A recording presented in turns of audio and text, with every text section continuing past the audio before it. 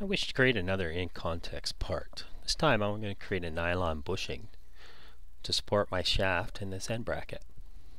So once again, what do we do? Select the Assembly tab, the drop-down menu from Insert Components, tell to insert a new part. I'll just click in white space to accept the insert of a new part. Let's collapse all of these items.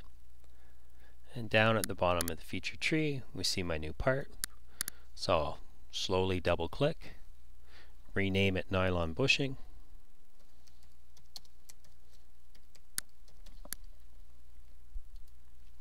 and I want to edit this new part. So I'm going to edit the part in the context of the assembly. From this face, I'm going to create an extrusion. And the more parts I have, the more confusing it is to see what's happening. So I want to be very careful. I'm going to zoom in on this end.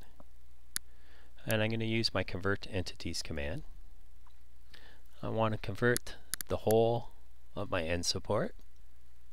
And I want to convert the OD of my screw shaft. So I've converted those two entities.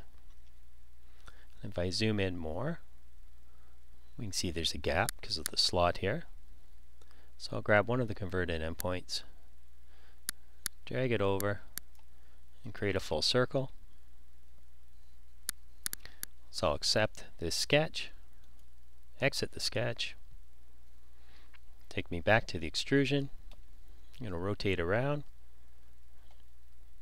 And I would like this to stay the same length as my end support. So for my end condition, I'm going to tell it up to surface.